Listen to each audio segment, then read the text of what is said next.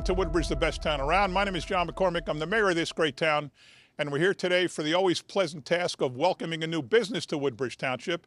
In this case, we are at the club at Woodbridge, and we are welcoming Barbell's Cafe Restaurant to uh, the club at Woodbridge, which is a fantastic improvement that the members so far have enjoyed. It's been terrific.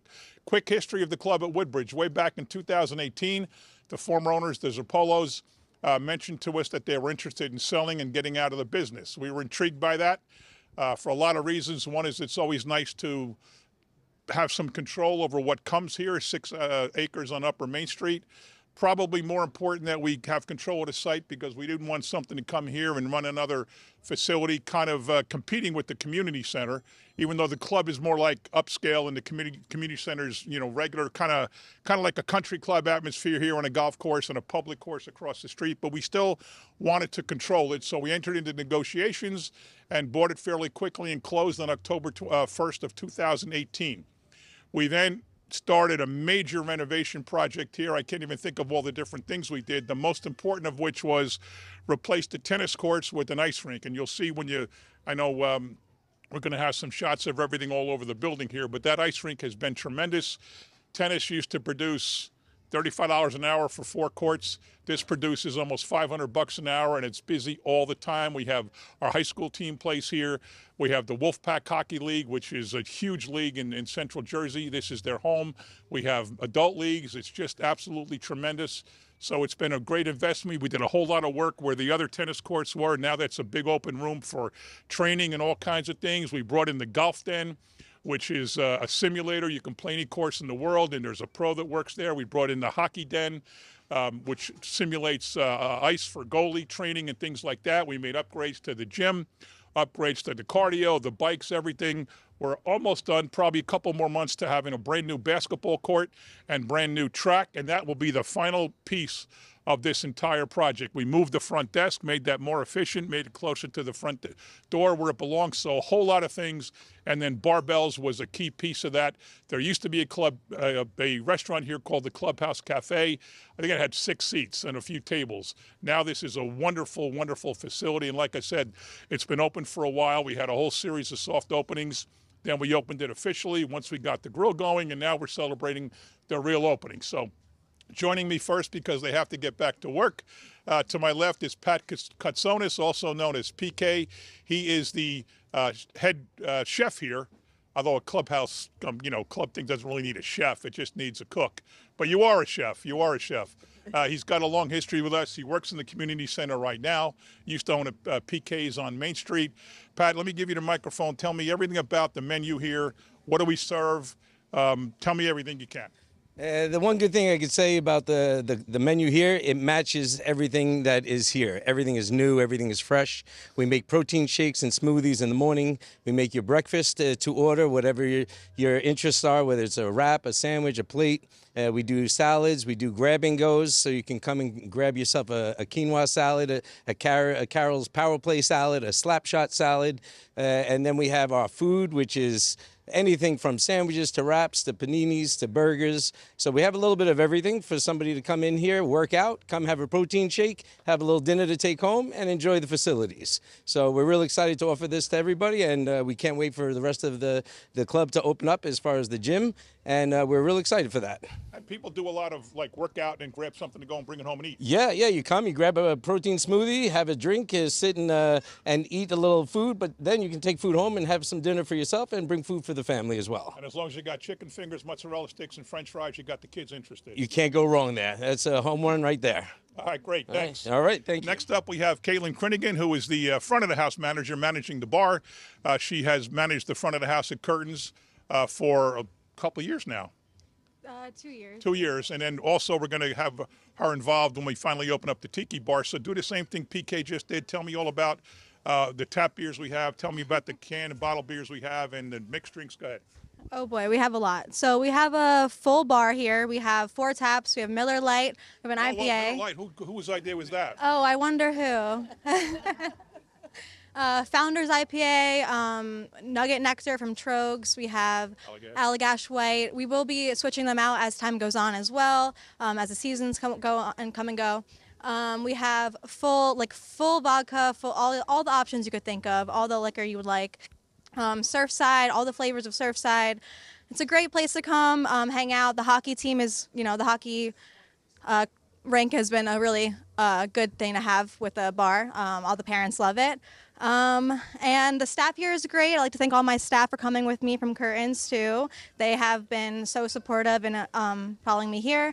Um, and that's really And one of the fun nights we had was at Curtains when we're sitting planning the menu, and Caitlin Ludden doesn't know hockey. Um, not that I know a lot about it, but enough. And she'd shoot out a name of a drink like a Moscow Mule. We made it Messier's Moscow Mule. Oh yes, And you named all of Blue- the Blue cocktails. Yes. Doors Blue Martini. That was fun. Yes, Everything's named after a hockey player. That's a a salad. That's a Carol salad. You, you don't get a drink. You get a salad. Yes, we named all of our cocktails after um, hockey players, and um, I came up with the cocktails. He, he named them. Yeah. It was a good collaborative effort. fun. So yeah, it was a lot of fun. A lot of fun. So yeah. Great. Well, thanks. Um, yeah. Well, PK went back to work. You go back to work. Thank you. All right, so next to me is Carol Ehrlich. She is the head of the Woodbridge Arts Alliance, the president of that entity. Now, you have to know that towns cannot own liquor licenses. You have to get what they call a concessionaire's license, and that's got to be run by a separate entity from the town, usually a nonprofit. So, when we built Curtains Restaurant, we got a concessionaire's license from the state, and it's run by the Woodbridge Arts Alliance, and it all tied into Curtains and the Art Performing Arts Center, which is the arts and there's musical performances in the restaurant. It's all tied together. So Carol's the president of that. So we were thinking of another entity for here, and all of a sudden our attorney said, no, you can still run this under the same license as the uh, Curtains Restaurant, which is also the same license we're going to use for the Tiki Bar, which will be here doing a grand opening hopefully in about six or seven or eight weeks. Uh, so as the president of that entity, this is really cool that we now have another facility like this. So tell me about your thoughts about everything. So this is great. And so the Woodbridge Arts Alliance, you would think arts, it's not about opening up bars. But actually, I look at it as a fundraiser. So every time you have a drink, you are supporting the arts in Woodbridge. That's and drink. I, I, I know every that's why I time you have a drink, you think about that mural that is going on Main Street, and we um, and but WAA has had a fantastic team, starting with the with curtains and the theater with APAC, and so much of that team has come here to make this possible. And I just I see a couple of people out there who've done a great job. Patrick, um, he he he's the one he's the one who takes care of all the money at WAA. Heather, who's always and always my right hand person. Anthony, who is the truly the artistic end of WAA, Runs the theater. who runs the theater, and um, Caitlin, who started with us and now she's expanding here and at the Tiki Bar. So uh, thank you so much for this opportunity. Keep WAA raising money and keeping people happy. And you got two board members, Bob and Bob, uh, Bob and Bob. You want to mention? Oh, oh yeah. Oh, I'm sorry. Bob is a board me- member, and Bob Polis, and who else is here? Former Councilman Bob Sobieski's here somewhere. Oh, there he is. Okay, there's two. great. Okay, lots of support. Great. Thanks. Let me turn it over now to Paul Losick, who uh, forgot more about hockey than I'll ever know. Uh, he is the head of the Wolfpack League. Uh, without the constant rentals from the Wolfpack, a hockey rink would never work. This is a, a terrific league. You'll tell, but I think you won a 14 and under tournament in Dallas a year or two ago. This is a serious program with people from not only Woodbridge, but all over Middlesex County, into Staten Island, and other parts of town. And, and you're also critical in building this rink along with Vito and, and Casey and others. Tell me your thoughts about everything here. You've got to be thrilled seeing another hockey rink in Woodbridge given your history. Thank you, Mayor. I just want to thank you for the opportunity to be a part of this. Um, a lot of rinks that open up now do have a concession stands like this, and this is just state of the art with the ice rink and the concessions here, and the and the bar for the parents to enjoy. A lot of my families are here and they love it. They w- wishing for this for years, and now it's a wish come true for them, and it's all because of your vision. And uh, we're going to bring tournaments in here from uh, teams from all over the country. We've had in the last year, right? Iowa, Kansas, in North Dakota, Colorado. Department came to play the New York Police Department here. Yeah, so a lot of a lot of teams are coming from all over the uh, the globe here. Um, we had a team from Czech Republic here last week that played our Wolfpack team. Really? Yeah, um, as a scrimmage, and then we're expanding that tremendously. Like you said, kids are coming from all over the place. Uh, we have a kid that comes from Hershey every day to come skate here. So Hershey, PA. So it's it's pretty These teams come in, they're staying in our hotels. They're- absolutely. They're dining in our restaurants when they're getting their snacks here, but they're dining in the Olive Gardens and the Bahama Breezes and the, the uh, Dave and Buster's with the kids and all those places. Right, they're they're buying equipment at Monkey Sports in town. They're they're going. I even talked to the managers there. They're, I, I see people in town. They tell me how much the hockey's actually br- brought uh, revenue to the town. So, Terrific. all right, I want to thank you. Let me quickly introduce some people that probably don't want to speak. Brian Molnar is the head of recreation. He declined the opportunity. Keith Capanos to my left is the head of the club. You sure you want to say anything? Good, man. You're sure you're good? All right. Good, thank you. Diane's the new front uh, desk manager. Your Um, I'm going to get to. We have um, Lola, who's a, almost a 40-year member. We have Marge behind me, who's membership. We have Rob somewhere around here who does membership. Uh, Pat Wall, who's the accountant bookkeeper.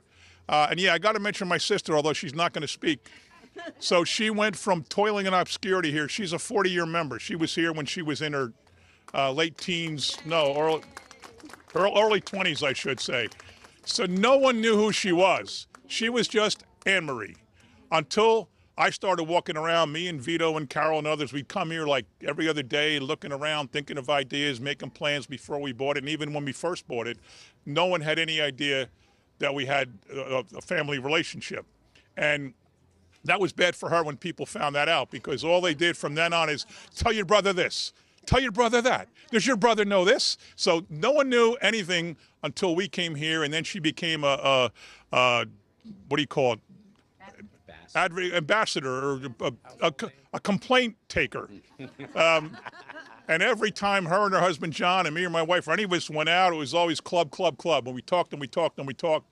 But she had a whole lot to do with the success of this place, and a whole lot of her input and her ideas went into what you see now, which is a wonderful facility. So thank you, Anne Marie and John. We also have some uh, stars in the in the uh, audience. We have a 40-year member. I don't really know his name, unless is, is his last name really Chubba, or is that a nickname?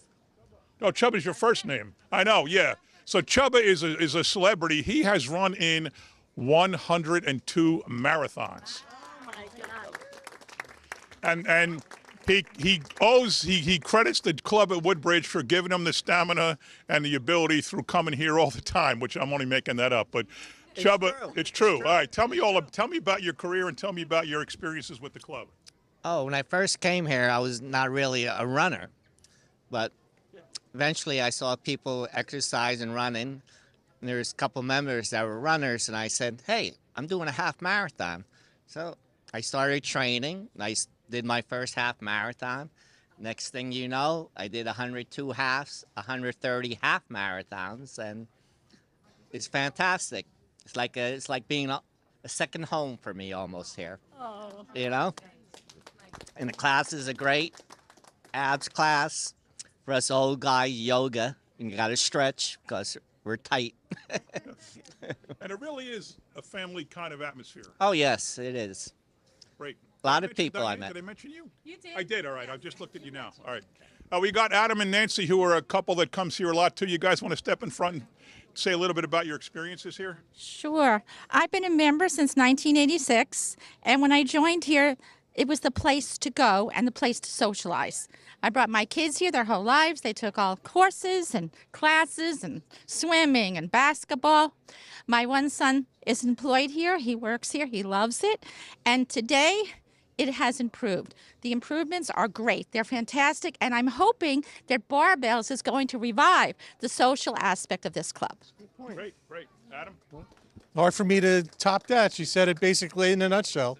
I could just say that I was here back in the late 70s when it was just a racket club. And uh, periodically I stepped out, but then came back, went on some ski trips and things like that. But all for the, the best. trips out of here? They did, yes, at one time. I think the one was in 96 that I was on. Uh, it was really nice. We had a good time. And that's basically it. And uh, it's a great place and looking forward to it and see where we're going to go from here. Great, thanks. We also have with us our town clerk, John Mitch. We have our planning director, Marta Lefsky. I think that pretty much covers everybody. I want to bring, out Megan Kushba, who's a member here, who is our communications director. I got to give a shout out to Kelly Walsh, who works for Megan. It was Kelly who designed the Barbells logo, and everybody here gets a free hockey puck with the Barbells logo on it today. But it, it, marries the hockey stick with the fork on the end and another one with spoon on the end. And it's really very, very clever, this whole logo. I want to thank Kelly Walsh. Kelly with an IE. We also have uh, a councilman in the audience, Greg Ficara, who is the head of the Wellness Committee in Woodbridge. He's been doing that for almost 17 years since he's been on the council. And come on up, Greg. Uh, this kind of fits right in with your whole theme of Woodbridge being a healthy and a wellness town. Well, you know, it just dawned on me as I came and I saw all the people around. There's a wonderful book called The Blue Zones of Happiness, and it talks about places around the world where people live a long and healthy life. And you would think that the reason they do that is strictly because of their exercise and their fitness habit. But the number one factor is socialization, being with people and interacting. And that's what Barbell does. All right, very good. Did we cover everybody? I think we got everybody that's going to speak. Let's get the ribbon. All right, let's count down from five. Welcome to Woodbridge. Congratulations, pal.